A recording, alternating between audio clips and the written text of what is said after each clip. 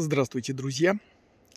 Сегодня у нас э, необычное, даже не столько видео о тропе, сколько видео анонс той тропы, которая планируется в на территории Ленинградской области в ближайшее время. То есть сейчас строится. Это экологическая тропа на Кургальском полуострове. Кургаль, Кургальский полуостров – это заказник, это особо охраняемая природная территория, но э, вокруг нее сломано очень много копий за последние годы, что было связано с строительством Nord Stream. Это э, Северный поток-2. И этот Северный поток-2 а, я так понимаю, финансирует часть строительства этих троп экологических на э, Кургальском заказнике, с чем связано было несколько скандалов. Вот. Э, в частности, экологи, что для меня просто полный фейспалм, выступили против строительства экологических троп в заказнике. Но не те экологи, которые занимаются действительно исследованиями на территории заказника, а какие-то, так сказать, сторонние лица. Вот. Некоторых из них, мне кажется, я даже знаю. И это было для меня неожиданно, потому что э, вообще проблема заказника, она достаточно сильно э, нами изучена. Большое количество людей – останавливается здесь с машинами, дико мусорит. Мы участвовали в экологической акции и убирали здесь. А сейчас, когда начали приводить туризм и вообще все в порядок, э, вот появились люди, которые против. Итак, тропа.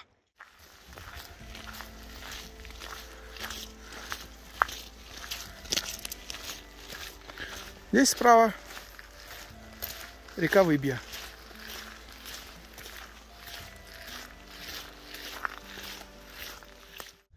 Сам маршрут проходит по Кургальскому полуострову, по территории заповедника, от того места, где дорога от деревни Выбия идет э, к центру полуострова. И э, на реке Выбия находится мост. Получается, что с одной стороны, как только вы выехали из Выбия, э, вы переезжаете реку Выбия и уходите направо по тропе тропа уже оборудована, но до конца еще здесь нет ни маркировки, ни указателей. Uh, уже есть сама тропа и некоторые элементы благоустройства, которые у меня видны за спиной. Тропа проходит вдоль реки Выбье, по берегу, получается, по левому берегу реки Выбье и выходит к э, заливу, к Лужской губе. А там дальше запланирован навесной мост – потом переход значит, на другую сторону реки Выбье и возвращение вдоль реки э, уже по противоположному берегу к тому же мосту. Это достаточно простая кольцевая схема, которая удобная для э, посетителей. Сама тропа больше напоминает лесную дорогу, да и отсыпанную гравием. Пока на данный момент это автотропа. Вот. Вряд ли это похоже на пешую тропу. Но мы знаем, что Ленинградская область, она в принципе делает такие тропы, чтобы удобнее было подвозить материалы. Ну, увы, как есть. На вскидку я оцениваю тропу где-то около 4-5 километров. Но это рабочая цифра. Мы обрисуем трек и примерно сможем вам дать более-менее точные данные чуть позже уже на монтаже. С одной стороны, это очень кайфовые, интересные места, и здесь хорошо бы было их посетить, потому что здесь красивые, заросшие камышом берега реки Выбье, здесь интересная природа, здесь дюны такие, поросшие сосновым лесом, ну и выход к самому Финскому заливу. То есть, в принципе, красивые места, где можно ставить и э, стоянки, места для отдыха, и э, видовые площадки. Э, но при всем при этом э, Сама тропа находится на периферии заказника. И понятно, почему это сделано, чтобы не нанести природе сильного вреда.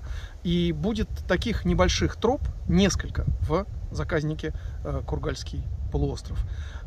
И все они будут находиться где-то по периферии.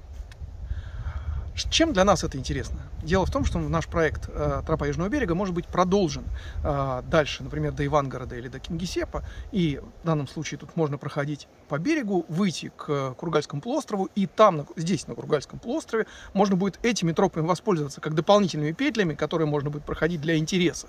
А основной маршрут, скорее всего, будет проходить по старинной мощенной дороге, которая идет по всему, вокруг всего Кургальского полуострова. То есть это, в общем-то, для нас, э, мне кажется, вполне интересно интересное э, дополнение к тропе Южного берега.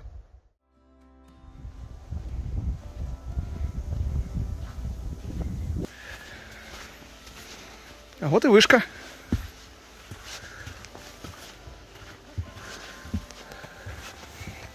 Смотровая вышка и настилы.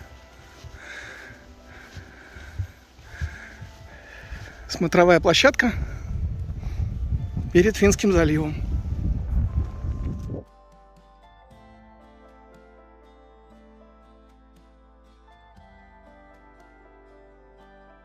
Значительная часть тропы проходит по настилам, в том числе и тропа по дюнам, чтобы большое количество людей, по ней проходящих, не наносило вреда дюнам, не разносило песок. Мне кажется, это очень правильно. Значительная часть тропы по пляжу, по берегу Финского залива, также проходит на настилах. И это тоже очень правильно. У меня за спиной усилитель звука.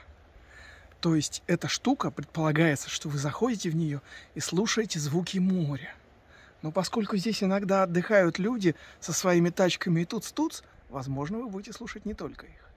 Но еще здесь в действительности круто. Здесь можно еще послушать двигатели дизеля крупных пароходов, которые идут по, э, от порта в Балтийское море. Интересная штука. Сейчас мы с вами послушаем звук. Вы слышите что-нибудь? Ну, в общем, слышно море. Ветер слышно. Интересный эффект. Надеюсь, что он в какой-то мере вам слышен.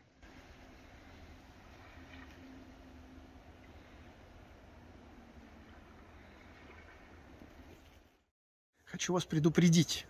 Будьте осторожны. Тут помимо тропы была, видимо, какая-то экологическая акция или экологическая арт... Э, ну, в общем, какой-то биеннале, не знаю, что-нибудь такое. Вот, наверное, это какое-то такое слово называлось. В общем, здесь расставлены арт-объекты. Э, как это называется? Ленд-арт. Да? Э, от именные от имени каких-то людей, которые, видимо, наверное, причастны к современному искусству. Я как раз понял, что все мои негативные чувства к современному искусству, они все сохранились, я их совершенно не потерял. Что-то абсолютно безобидное необычное и просто отвлекает глаз. А что-то, простите, совершенно отвратительно, когда они чучел развесили на э, деревьях вокруг деревянного стула. Я как-то не оценил, если честно. Я понимаю, что там какой-то месседж экологический, но я его не получил. Вот, так что будьте осторожны и не пугайтесь. Я надеюсь, что когда уже здесь будет функционировать тропа, это все уже уйдет. Правда, несколько там камней они разметили, сделали свои петроглифы. Но это, в общем-то, показывает, что мы в какой-то мере в культуре возвращаемся на, к древним образцам, скажем так.